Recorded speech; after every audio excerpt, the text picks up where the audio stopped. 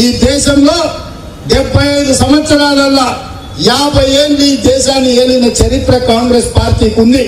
రెండు సార్లు ఓడితే నాలుగు సార్లు గెలిచిన చరిత్ర కాంగ్రెస్ పార్టీకి ఉంది.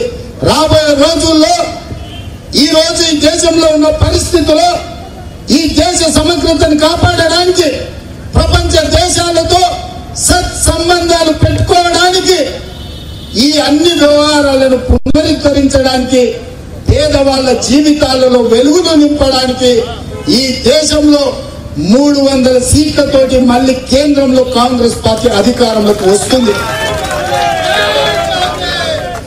ఎమర్జెన్సీ అప్పుడు కూడా జనతా పార్టీ గెలిచినప్పుడు కాంగ్రెస్ ఖతం అయిపోయింది ఈ దేశంలో కాంగ్రెస్ మళ్ళీ అధికారంలోకి రాదని విర్రవీగిన జనతా పార్టీ నాయకులు శ్రీమతి ఇందిరాగాంధీ గారిని డెబ్బై ఏడు నాడు అరెస్టు చేసి జైలుకు పంపింది జైలు నుంచి విడుదలైన రెండు సంవత్సరాలు కాలుకు బంపం కట్టుకొని దేశం నలుమూలల ఇందిరాగాంధీ గారు పర్యటిస్తే మూడు వందల అరవై ఐదు సీట్లతోని పంతొమ్మిది వందల ఎనభైలో రెట్టించిన మెజార్టీతోని కాంగ్రెస్ పార్టీ అధికారంలోకి వచ్చింది.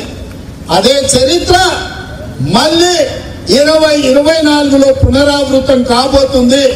ఇవాళ ఈ దేశ ఆత్మగౌరవం ఈ దేశం యొక్క త్యాగాలకు ఉదాహరణ త్యాగాలకు మారు పేరైన శ్రీమతి సోనియా గాంధీ గారిని అవమానించాలని లేకపోతే ఆమె మీద మానసిక ఒత్తిడి చేయాలని ఈ ప్రభుత్వం మీద చేసే పోరాటంలో ఆమె సమయాన్ని వృధా చేయాలని ఏదైతే మోడీ జోడీ కుట్రలు చేస్తుందో కుట్రల్ని దేశ ప్రజలు గమనిస్తున్నారు. ఏ రోజైతే శ్రీమతి సోనియా గాంధీ గారు ఈడీ ఆఫీస్లో కాలు పెడుతుందో ఆ రోజే మోడీ ప్రభుత్వానికి పతనం మొదలైనట్టే మీరు సర్వనాశనం అయిపోతారు.